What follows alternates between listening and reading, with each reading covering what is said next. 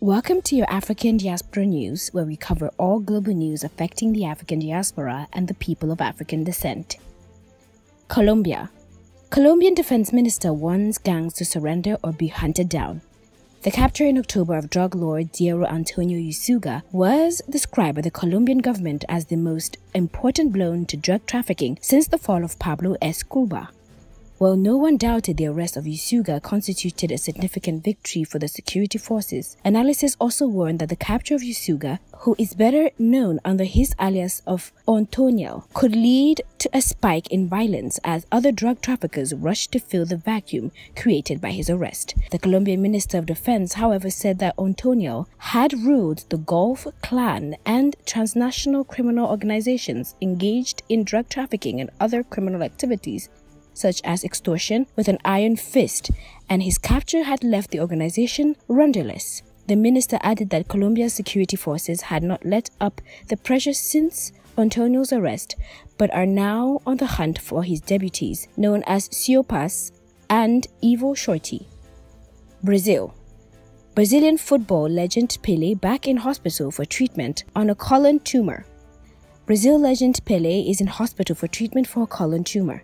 The three time World Cup winner had surgery to remove a colon tumor in September, with the hospital saying at the time he would also need to have chemotherapy.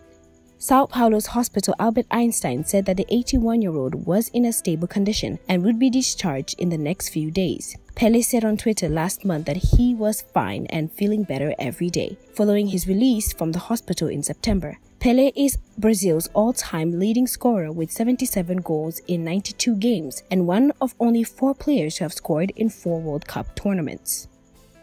Jamaica Robbie Shakespeare influences Sly and Robbie bassist, dies aged 68. Influential Jamaican reggae artist Robbie Shakespeare on half of the duo Sly and Robbie, has died aged 68. He died in Florida, where he had recently been in hospital for kidney surgery.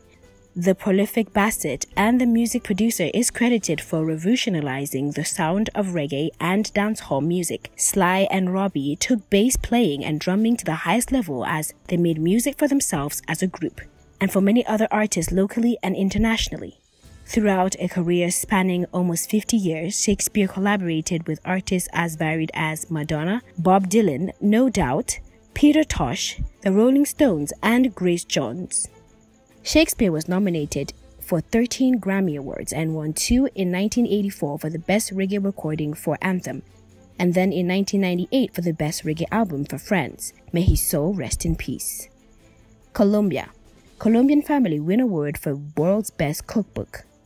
A Colombian mother and daughter celebration of their country's traditional leaf wrapped dishes has been named Best Cookbook in the World of the Gourmand Awards in Paris. Colombia's envueltos are part of the culinary heritage that stretches across much of Latin America, from tamales of Mexico and Guatemala to the humitas of Chile.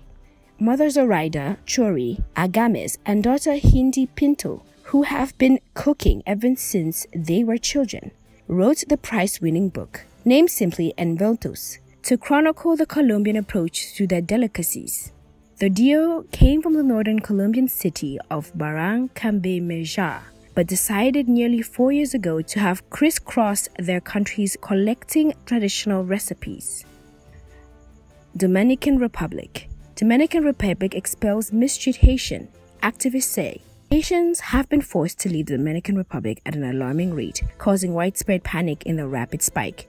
In the Dominican Republic, more than 31,000 people have been deported to Haiti this year, which eclipses more than 12,000 in the past three months. Human rights activists said this alarming rate of deportation has been the most they have seen in decades. The increasing mistreatment of the country's Haitians coincide with the rise of Luis Abinader, who took office as president in August 2020. They accused the government of targeting vulnerable populations, separating children from their parents, and racial profiling. Haiti is overwhelmingly black, while the majority Dominican identity are mixed race. Dominican authorities, they say, are not only seeking out Asians who recently crossed illegally into the Dominican Republic, but also those who have long lived.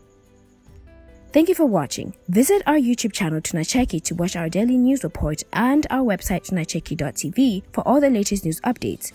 Don't forget to catch up on our new show, Startup Africa, every Thursday on our channel. You can directly support this new series by becoming our YouTube member or becoming a Patreon member. And remember, Africa is watching.